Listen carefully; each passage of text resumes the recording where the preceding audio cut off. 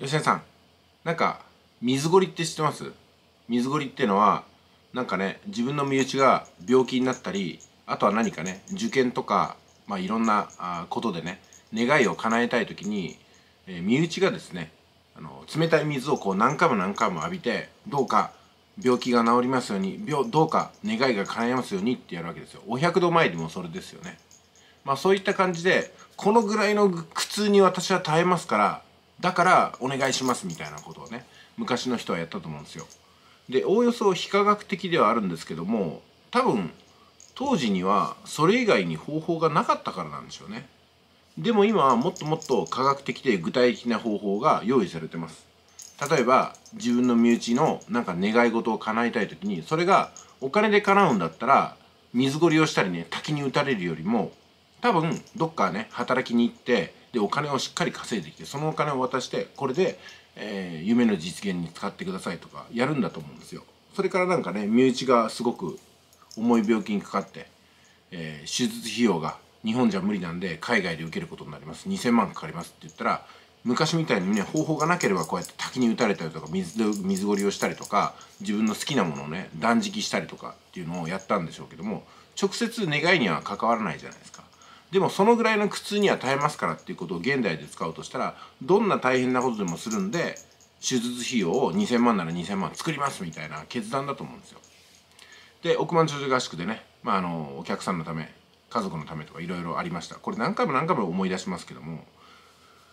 いやあの一刀両断にするのはねかわいそうなんですけども私と同じ世代で何人もいるんですがなかなかね就職も決まらずにお金も稼げずに、まあ、速稼塾でいろいろビジネス挑戦したんだけどもいまいち結果が出ずにそのうちに自分の両親が介護状態になりついには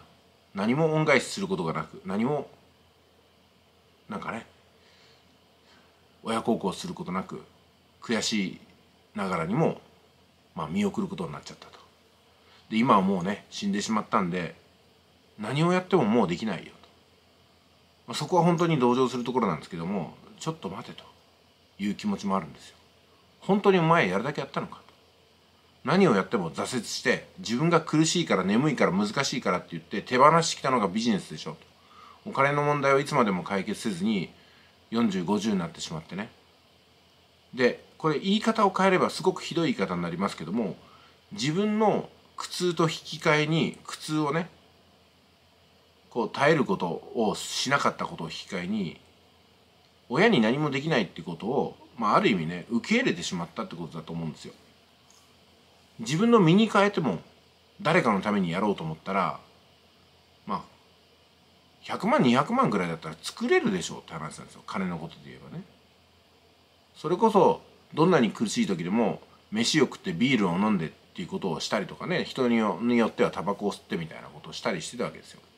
だったら1年間好きなことを水ごりとかね滝に打たれることではないんですけども1年間全部をやめてね必要最低限の自分の生活費だけで残りのお金でお父さんお母さんありがとうっていうふうにできたんじゃないかなっていうふうにね。まあとても言えないですけども。でも今もしかしたら両親が死んでしまってねいなくなった後ではそのぐらいのことをできたかもしれないなっていうふうに振り返ったかもしれない。だってそもそもね小学校中学校から始まるわけですよ。ねちょっと難しい勉強から避けてきたから自分の将来が選択肢が狭まった。その狭まった選択肢の中で、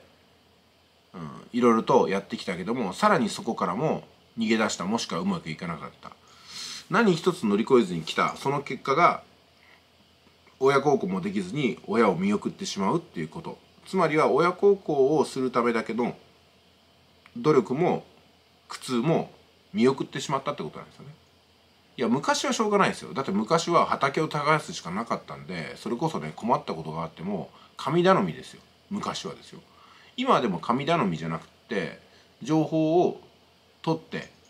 真摯にそこに向かっていけば一定の効果が出るし例えば毎月ね10万円のお小遣いをお父さんお母さんにあげるっていうのは不可能でも1ヶ月はできるでしょう。1回はできるでしょう。年に1回とかはできるでしょうとかね。お年玉月に月にとはいかないですね。お年玉なんで。お年玉を毎年1万円あげることぐらいできるでしょう。みたいなことだと思うんですよ。それこそ両親を食事に連れていくとかね。一緒にね二人きりで旅しようよっつってからね。お父さんと旅に行くお母さんと旅に行く。できるでしょうと思うんですよ。なんか考えてみたら高いレベルのことじゃなくてもちょっとしたことはできたと思うんですよね。でそのちょっとしたことをいくつできたかっていうのでも十分なんか家族のためっていうのはあったと思うんですけどもそれがね月収100万じゃないと家族のためのことを始めないっていうのは何なんだろうと思うんですよ。吉田さんが言われたようにいやお金より愛でしょって言うんだったら愛よりも簡単なお金の問題解決しないと。ね。じゃあどっちなんだと。金の問題程度は早く型をつけていかないと本当に悔しい人生が待ってますよ。今私は時間も十分あってでお金もかけながら両親と付き合うことができて言ってみればもう恥じることなくね両親と向き合うことができるっていうのはそこにあるんじゃないかなと。自分の生活が満足いかないお金も十分ないとなると親に会うのがね気まずくっていろんな理由つけて会わなかったり働くの忙しいからお金に忙しいから電話もめんどくさいなと思ったりとかして一方的に切ったりとかっていうの結構ありましたけども今はじっくり時間をかけてじっくりお金をかけてじっくり思いをねかけてね日々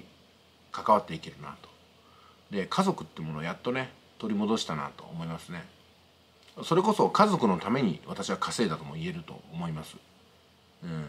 ね自分の子供のために奥さ,、まあ、奥さんのためにもね奥さんにね昨日またね私が選んだシークレットで選んだあのワンピースが2つ届いたんですよ。これはすごく可愛らしいんですよね。で私もねこういうふうにね結婚してからね定期的に何も言わずに奥さんにあのいろんなものプレゼントしてるんですよね。それこそ帽子から靴まで。やっぱりねあの着てくれないのも当然ある好みがあるんで、ね、でも大抵は私の選んだものを毎日毎日着てくれたり楽しんでくれたりするんで私も嬉しいしね好みもお互いに分かりやすいし。でなんかねこう記念日にしかやらないっ